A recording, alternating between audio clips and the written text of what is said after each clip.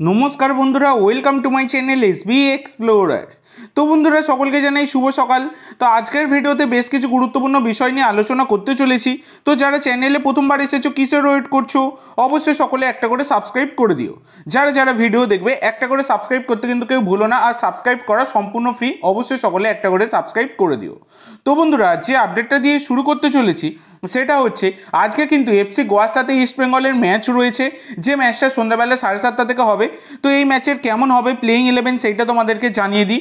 তো আজকে ইস্ট বেঙ্গলের জন্য সুখবর এটাই যে সাউল ক্রেসপো তিনি কিন্তু প্রায় এক মাস পর চোট কাটিয়ে তিনি কিন্তু মাঠে ফিরছেন। এইটা অনেকটাই স্বস্তি দেবে ইস্ট বেঙ্গলের কোচ কার্লেস কোয়াদ্দাতকে তো তোমাদেরকে বলে দিই ইস্ট বেঙ্গল কিন্তু ফোর টু থ্রি ওয়ান ফরমেশনে দল নামাতে পারে।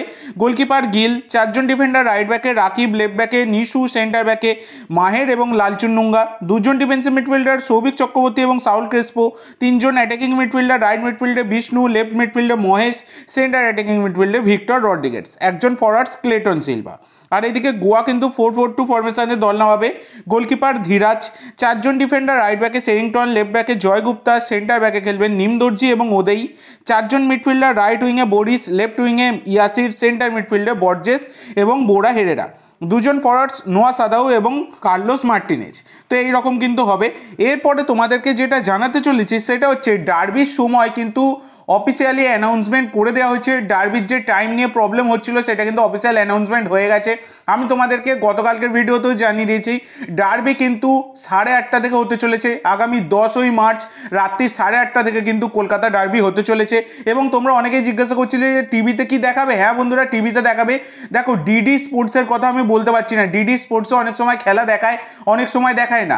সেই জন্য তোমরা যারা বাংলাতে কমেন্টটি দেখতে চাইছো, তাদেরকে বলে দিই স্পোর্টস এইটিন থ্রি যে চ্যানেলটা আছে, সেখানে কিন্তু ল্যাঙ্গুয়েজ চেঞ্জিং অপশান রয়েছে। সেখানে তোমরা বাংলা, হিন্দি, ইংলিশ, মালায়ালাম সব রকম ল্যাঙ্গুয়েজ কিন্তু চেঞ্জ করে সেখানে তোমরা দেখতে পাবে। তো তোমরা ল্যাঙ্গুয়েজ চেঞ্জ করে নিও স্পোর্টস এইটিন থ্রি থেকে। সেখান থেকে তোমরা বাংলায় দেখতে পেয়ে যাবে। এরপরে তোমাদেরকে যেটা জানাব, সেটা হচ্ছে কিয়ান নাসিরি এবং হামতেকে নিয়ে। তো বন্ধুরা, গতকাল একটা আপডেট বেরিয়ে এসেছিল যে কিয়ান নাসিরি এবং হামতে, তারা দুজনে কিন্তু মোহনবাগান ছেড়ে যোগ দিতে চলেছেন চেন্নাই নেপসিতে।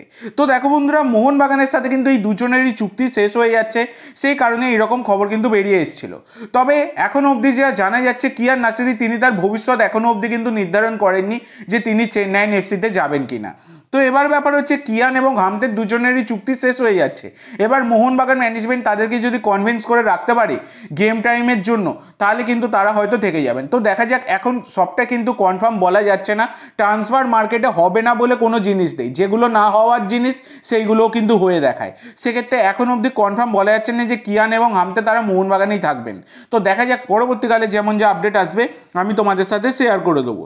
এরপরে তোমাদের যে আপডেটটা দেবো, সেটা হচ্ছে একটা গুরুত্বপূর্ণ আপডেট যেটা হচ্ছে ছাব্বিশ বছর বয়সী ফ্রান্সের অ্যাটাকিং মিডফিল্ডার মাদি তালালকে নিয়ে। তো বন্ধুরা, এই মাদি তালালকে আর আইএসএল এর মঞ্চে চিনতে কারও বাকি নেই। প্রথমে যখন এসেছিলেন, সেভাবে অনেকেই চিনত না, আস্তে আস্তে তিনি কিন্তু নিজের পরিচয় আইএসএল এর মধ্যে তৈরি করে ফেলেছেন। এই মাদি তালালের মার্কেট ভ্যালু তিন কোটি টাকা। যখন এসেছিলেন মার্কেট ভ্যালু কিন্তু এত ছিল না। এবং তিনি কিন্তু অ্যাটাকিং মিডফিল্ড ছাড়া সেন্টার মিডফিল্ড আর সেকেন্ড স্ট্রাইকারও খেলতে পারেন। আইএসএল এর মঞ্চে এখনও অবধি টোটাল ম্যাচ খেলেছেন সতেরোটা, যেখানে চারটে গোল আর ছটা অ্যাসিস্ট মানে দশটা গোলের কন্ট্রিবিউশন কিন্তু হয়ে গেছে। এছাড়া মাঠের মধ্যে যে এফোর্ট নিয়ে ম্যাচ খেলেন সেটা কিন্তু এক প্রকার অসাধারণ। তো এই মাদি তালালের ওপর কিন্তু আইএসএল এর একাধিক ক্লাব ইন্টারেস্ট শো করছে। মাত্র ছাব্বিশ বছর বয়স আইএসএলে কিন্তু অনেক লং সার্ভিস দিতে পারবেন। তো মাদি তালালের ওপর ইন্টারেস্ট রয়েছে মোহনবাগান মুম্বাই সিটি এফসি বেঙ্গালুরু এফসির তো দেখা যাক সামনের সিজনে এই মাদি তালালকে কোন দল নেয় নাকি পাঞ্জাব রেখে দেয়। এরপরে তোমাদের যে আপডেটটা দেবো সেটা হচ্ছে আগামীকাল সাতই মার্চ কিন্তু এএফসির ইন্টারজোন সেমিফাইনাল ম্যাচ রয়েছে, যেখানে কিন্তু সেন্ট্রাল কোস্ট ম্যারিনার্সের মুখোমুখি হতে চলেছে আমাদের ভারতীয় ক্লাব উড়িষ্যা এফসি। যে ম্যাচটা কিন্তু দুপুরবেলা দেড়টা থেকে হতে চলেছে, এটা উড়িষ্যার কিন্তু অ্যাওয়ে ম্যাচ উড়িষ্যা অস্ট্রেলিয়া গিয়ে খেলবে এই ম্যাচটা। তো এবার ব্যাপার হচ্ছে এই ম্যাচটা লাইভ টেলিকাস্ট তোমাদেরকে জানিয়ে দিই। যারা মোবাইলে দেখবে, তারা কিন্তু ফ্যান কোড অ্যাপের মাধ্যমে এই ম্যাচটা লাইভ টেলিকাস্ট সম্পূর্ণ দেখতে পেয়ে যাবে। তো ফ্যান কোড অ্যাপ কিন্তু ফ্রি নয়, এইটা তোমাদেরকে বলে দিই। এছাড়া টিভিতে কিন্তু তোমরা স্পোর্টস এইটিন টিভি চ্যানেলে লাইভ দেখতে পেয়ে যাবে। যেমন তোমরা আইএসএল স্পোর্টস এইটিনে দেখতে পাচ্ছ, সেরকম কিন্তু স্পোর্টস এইটিন নেটওয়ার্কে তোমরা এই ম্যাচটা লাইভ দেখতে পেয়ে যাবে। আর যারা এই ম্যাচটার ফ্রি লিঙ্ক চাও ফ্রি লিঙ্কের মাধ্যমে লাইভ দেখতে চাও, সেইটা অবশ্যই আমি কালকে শেয়ার করব। কালকে ম্যাচের আগে শেয়ার করে দেবো তোমাদের সাথে। সেই কারণে অবশ্যই চ্যানেলটা সাবস্ক্রাইব করে রাখো, নাহলে কিন্তু তোমরা ফ্রি লিঙ্ক পাবে না এই ম্যাচের তো আজকের জন্য এইটুকু বন্ধুরা। ভিডিওটি ভালো লাগলে অবশ্যই লাইক করো শেয়ার করো। আমার চ্যানেলে প্রথমবার এসে থাকলে চ্যানেলটি সাবস্ক্রাইব করো আর কমেন্ট করে জানাও ভিডিওটি কেমন লাগল। ধন্যবাদ।